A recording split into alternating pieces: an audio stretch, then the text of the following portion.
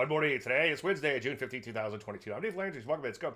Well, the piece went off a little yesterday, chopped their way lower, ended off the worst levels, still down a little nonetheless. This keeps them at new closing lows for one year or so. This creates an interesting situation. We're so overbought, we're due to bounce, but that in and of itself doesn't mean you should buy the market. You try to buy an oversold market, oversold becomes more oversold. Of course, if you try to short it, just the opposite happen. It will bounce. So very dangerous environment. Also Fed day today. So if you're looking to do something intraday, you might just want to sit on your hands until things shake out. Take a look at the Nasdaq. As you can see, bouncing a tiny, tiny bit if you squint your eyes. So far, though, remaining in a pretty serious downtrend. Ditto for the Russell 2000. What's concerning is, amongst a lot of other things, is the fact that gold remains in a downtrend. Actually, banged out some new lows yesterday. Ditto for bonds. There's no flight to safety in this market. Speaking of bonds, bonds down, rates up.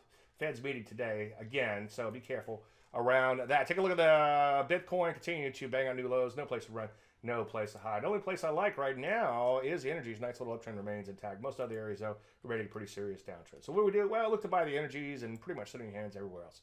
Any questions? As usual, name is Landry. You one minute.